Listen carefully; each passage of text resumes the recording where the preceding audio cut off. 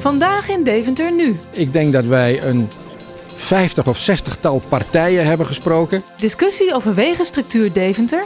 Ons vak is een moeilijk vak. Dat beseffen heel weinig mensen. Sfeerimpressie van een ontwerpsessie voor het nieuwe stadhuis. Ik ben wel een beetje een cultureel mens. En een portret van SP-raadslid Erik van Brink.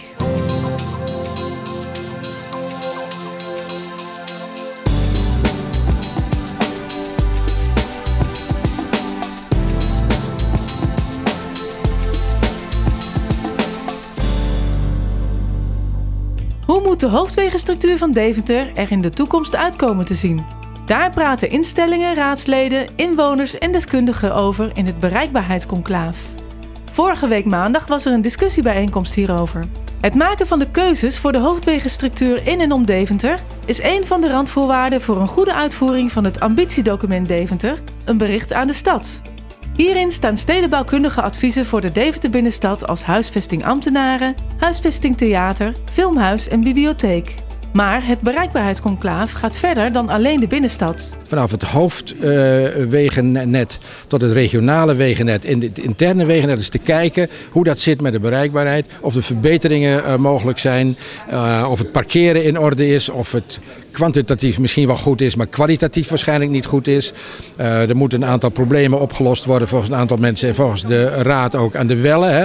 Maak de relatie tussen IJssel en stad een beetje fatsoenlijker en dat, dat je dat ook echt kunt ervaren.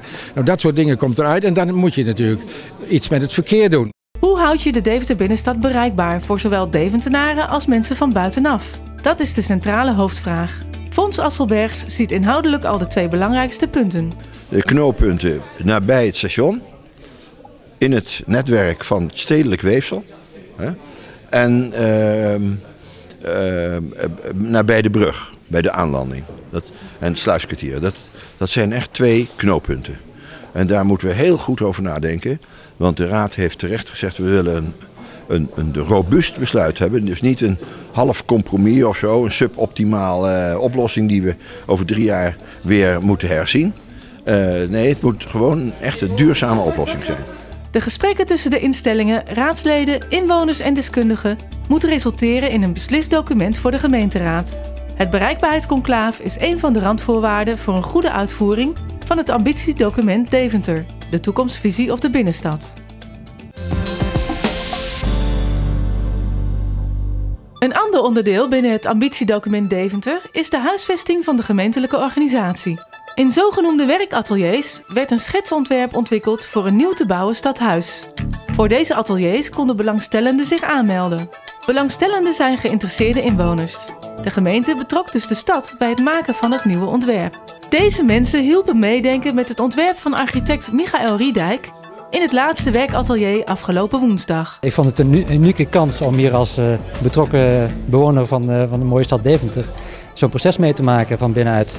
Je kunt goed meediscussiëren, je kunt eigen inbrengen uh, naar voren brengen in het atelier. en dat bij elkaar leidt wel tot nieuwe ideeën, nieuwe inzichten. De bedoeling is dat het nieuwe stadhuis zal verrijzen aan het Grote Kerkhof. Het schetsontwerp, waarin de werkateliers aan gewerkt wordt, bestaat uit drie onderdelen. In het eerste atelier werd de stedenbouwkundige in passie behandeld. Hoe zit het gebouw zich in het stedelijk weefsel tussen het Grote Kerkhof, de Assenstraat en de Poolstraat? In het tweede atelier kwam de interne structuur aan bod, zoals de doorsnee en de interne opzet van het gebouw. Tot slot werd in het derde atelier de expressie van het gebouw aan de kaak gesteld. Kortom, hoe gaat het eruit zien? Jo Koenen, stedenbouwkundige, begeleidde de werkateliers. Het gaat niet alleen over smaakjes. Want de ene vindt blauw leuk en de andere groen. Dat is de discussie niet. Die is ook niet essentieel. Essentieeler is datgene wat we hier hen vragen. En dat is, waar begint je gebouw? Waar, uh, hoe sluit het aan op de stad? Hoe openbaar kan het zijn? Wat gaan jullie daar eigenlijk mee doen? Heb je daar überhaupt over nagedacht? Heb je er belang bij? Enzovoorts. De moeilijkste vragen stel ik. Dat is niet echt alledaags. Dit, nee, dat is heel iets bijzonders en dat is ook wel heel leuk om te doen. Ja. Voelt het ook als heel belangrijk? Uh, ja, ja, je zet toch wel een stukje Deventer weer neer, wat toch maar misschien uh, als veel gebouwen in Deventer 200 jaar moet gaan staan. Dus, uh, 200 jaar? Ja, dat hoop ik wel. Aan de werkateliers deden verschillende inwoners en instellingen mee. Zo ligt er straks een compromis uit verschillende hoeken van de Deventer samenleving. Zodra het uiteindelijke schetsontwerp af is, gaat deze naar de raad. Ik denk als ik kijk naar het gebouwtype en stedenbouwkundige inpassing dat het een, een heel mooi uh, volume kan gaan worden. Met uh, interessante buitenruimtes en een levendig element in de, in de binnenstad. Als eindresultaat verwacht ik dat we straks uh, dat, dat, dat de gemeenteraad van Deventer gewoon een, een stuk heeft waar ze ja tegen kunnen zeggen. en dat gewoon begin volgend jaar gewoon gestart kan worden met de sloop van een aantal enorm lelijke gebouwen hier in de stad en dat er wat moois tevoorschijn komt. Ik hoop dat, het, uh, dat, dat, dat de bezuinigingen, voor zover die uh, zijn aangekondigd, dat, dat we daarbij toch dit soort prachtige instituties als het Burgerweeshuis zoveel mogelijk kunnen ontzien. Ik ben wel een beetje een cultureel mens. Filmhuis, bouwkunde, schouwburg. Ik kom al, nou, hoe lang zal het zijn? 25 jaar in het Burgerweeshuis. De hele gemeenteraad heeft het de komende tijd over bezuinigingen. Dus ik ga me sterk maken dat er uh, op culturele instellingen zoals het Burgerweeshuis uh, het liefst niet bezuinigd worden, maar in ieder geval zo min mogelijk bezuinigd worden.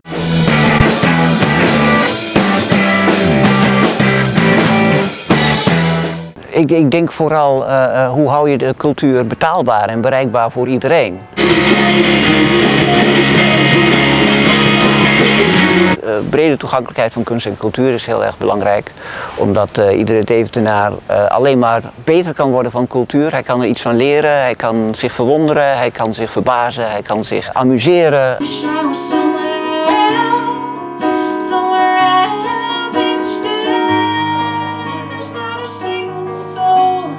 Ik denk dat je, dat je, dat je zeker moet kijken of je, of je de cultuursector nog creatieve ideeën mee kunt geven om, om, om, zichzelf, uh, om zichzelf in stand te houden en, en, en, en om aantrekkelijk te blijven voor het publiek.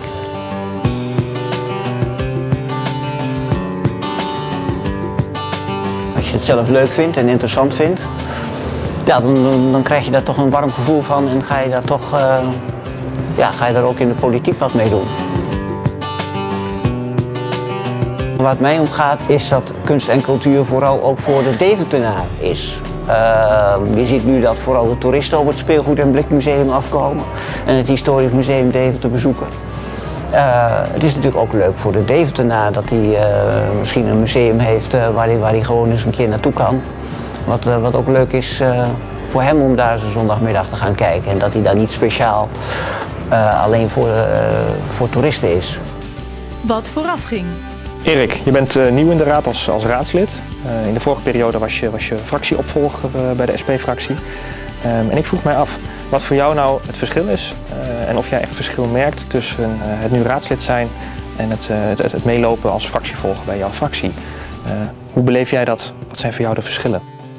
Beste Rob, ja, die verschillen uh, zijn eigenlijk helemaal niet zo groot. Uh, ik kan me voorstellen dat in grote fracties zoals de PvdA, daar de opvolgers ja, een bescheiden rol spelen. Maar wij zijn een kleine fractie en vandaar dat bij ons de verschillen eigenlijk heel klein zijn.